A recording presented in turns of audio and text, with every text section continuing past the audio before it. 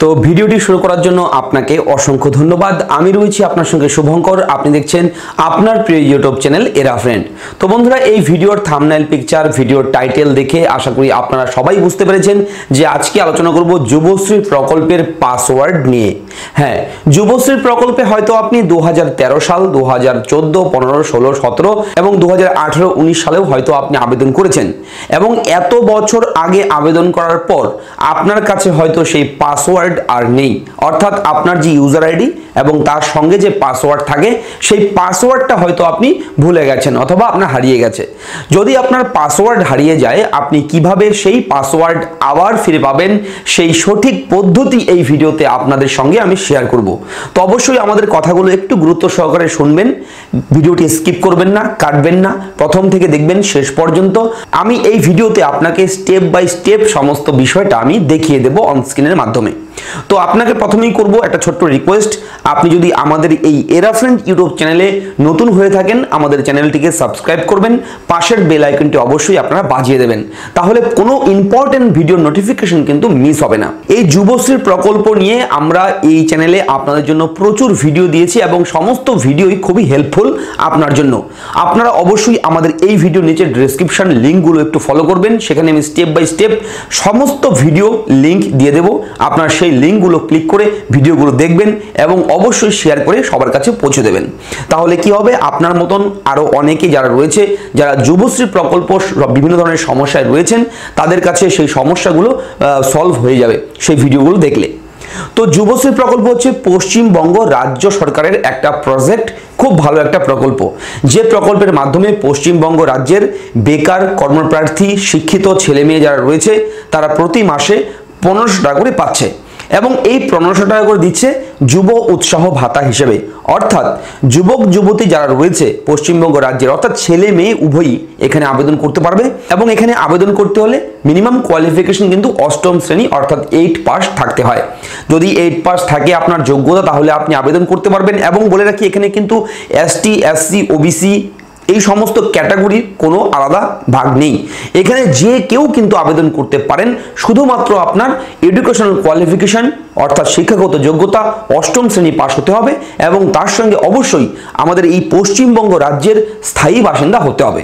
তাহলে এই সুযোগ, এই সুবিধা কিন্তু আপনি পাবেন।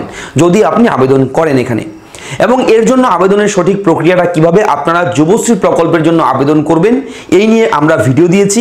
আমাদের এই চ্যানেলে ভিডিওর নিচে ডেসক্রিপশনে আপনার জন্য সেই লিঙ্ক আমি দিয়ে দেবো। আপনারা সেই লিঙ্কে ক্লিক করে ভিডিওগুলো দেখে নেবেন। তো এবার আসছি পাসওয়ার্ডের বিষয়ে ভিডিওর মূল বিষয়ে। অনেকে এমন রয়েছে যাদের মোবাইল নাম্বার যেটা রেজিস্টার করা ছিল, সেই মোবাইল নাম্বার হারিয়ে গেছে। মোবাইল নাম্বার বন্ধ হয়ে গেছে। তো তাদেরকে বলব, আপনারা আগে আপনার ফোন নাম্বারটি রি রেজিস্টার করে নিন এক্সচেঞ্জ অফিসে গিয়ে। এমপ্লয়মেন্ট এক্সচেঞ্জ অফিসে গেলে আপনারা ওখানে একটা ফর্ম ফিল করবেন অথবা আপনারা একটা অ্যাপ্লিকেশন দেবেন দরখাস্ত যে আপনার মোবাইল নাম্বার চেঞ্জ করতে চাচ্ছি। আগে এই নাম্বার ছিল, বর্তমানে আমি এই নাম্বার রেজিস্টার করতে চাচ্ছি। তো সেখান থেকে কর্তৃপক্ষরা আপনার নাম্বার রেজিস্টার করে দেবে এবং তারপর আপনারা ঘরে বসে কিন্তু আবার সেই পাসওয়ার্ডটি ফরগেট করতে পারবেন। এবং যদি আপনার নাম্বার ঠিক থাকে, আপনার হয়তো ফোন নাম্বার সমস্ত কিছু আগের রয়েছে, কোনো কিছু চেঞ্জ করেননি তবু আপনি আপনার ইউজার আইডি রয়েছে পাসওয়ার্ডটা ভুলে গেছেন। কোনো কারণবশত হারিয়ে গেছে, খুঁজে পাচ্ছেন না। এবার আপনি পাসওয়ার্ডটা কি করে ফিরে পাবেন? তো এই ভিডিওতে আমি দেখিয়ে দিচ্ছি অন স্ক্রিনের মাধ্যমে আমি কম্পিউটার স্ক্রিন থেকে আপনাদের দেখিয়ে দেবো, আপনারা কীভাবে এই পাসওয়ার্ডের যে সমস্যা, সেটা সলভ করবেন। তো চলুন কম্পিউটার অন স্ক্রিনে তো এই মুহূর্তে আপনারা রয়েছেন এমপ্লয়মেন্ট ব্যাংকের অফিসিয়াল ওয়েবসাইট এই ওয়েবসাইটটার সঙ্গে আশা করি আপনারা সবাই পরিচিত রয়েছেন। তো এই ওয়েবসাইটটা আপনারা পেয়ে যাবেন ভিডিও নিচের ডিসক্রিপশনে সেখানে লিঙ্ক দিয়ে দেবো। লিঙ্কে ক্লিক করবেন, সরাসরি এই ওয়েবসাইট আপনার সামনে খুলে যাবে। তো আপনি যে কোনো একটা ব্রাউজার ওপেন করবেন আপনার কম্পিউটার অথবা মোবাইলের মাধ্যমে। তো আপনারা চলে যাবেন সরাসরি, এখানে দেখুন জব সিকার বলে একটা অপশান রয়েছে। এই জব সিকার এখানে ক্লিক করবেন। যখন এখানে ক্লিক করবেন, নিচে দেখুন চেঞ্জ ইওর পাসওয়ার্ড দেখুন এখানে চেঞ্জ ইওর পাসওয়ার্ডে আপনারা ক্লিক করবেন। যখন এখানে ক্লিক করবেন, আপনার সামনে এইভাবে কিন্তু চলে আসবে। আপনার ইবি নাম্বার যদি ফর রিমেম্বার যদি করা থাকে এখানে। রিমেম্বার পাসওয়ার্ড যদি করা থাকে, তাহলে এভাবে চলে যাবে। আমার যেহেতু রিমেম্বার করা আছে, আমার এখানে অটোমেটিক আমার ইউজার নেম চলে এসেছে।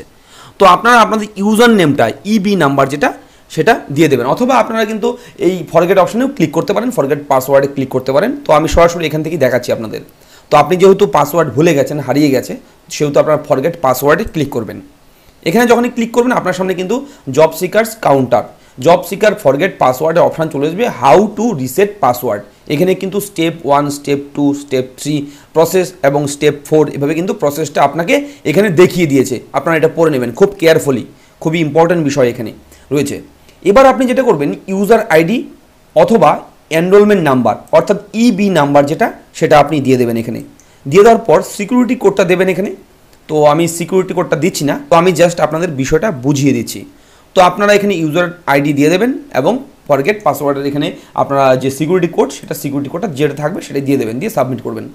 সাবমিট করার পর আপনার কাছে আপনার ফোন নাম্বার চাইবে অথবা অটোমেটিক কিন্তু আপনার যে রেজিস্টার ফোন নাম্বার সেখানে একটা ওটিপি চলে আসবে, অর্থাৎ ওয়ান টাইম পাসওয়ার্ড আপনার যে রেজিস্টার ফোন নাম্বার যেটা দিয়ে আপনি এমপ্লয়মেন্ট ব্যাংকে অ্যাপ্লাই করেছেন, সেই মোবাইল নাম মোবাইল নাম্বারটা মোবাইলটা কিন্তু আপনার সামনে রাখবেন। এবং সেই মেসেজের যে ওটিপিটা ওয়ান টাইম পাসওয়ার্ড সেটা সেই নেক্সট পেজে আপনারা এন্টার করে দেবেন এবং তারপর সাবমিট করবেন, তারপর কিন্তু আপনার নতুন পাসওয়ার্ড দেওয়ার জন্য সেখানে অপশান চলে আসবে এবং এখান থেকেই আপনারা কিন্তু আপনার পাসওয়ার্ড আবার নতুন করে পরিবর্তন করতে পারবেন অথবা আপনার পুরনো পাসওয়ার্ডটাই ফিরে পাবেন। এই প্রসেসে যদি আপনার ধাপে ধাপে এগিয়ে যান। তো সুন্দর একটা প্রসেস সিস্টেম এর আগে কিন্তু এই আপডেটটা ছিল না, কিছুদিন আগেই এটা আপগ্রেড করেছে কর্তৃপক্ষ। এবং আমরা এর আগে যখন চেক করেছি একবার আমি, কয়েক মাস আগে চেক করেছিলাম, তখন কিন্তু এই অপশানটা এত কিছু ছিল না এখানে। যাই হোক, নতুন করে সেটা আপডেট করেছে, কর্তৃপক্ষকে অসংখ্য ধন্যবাদ।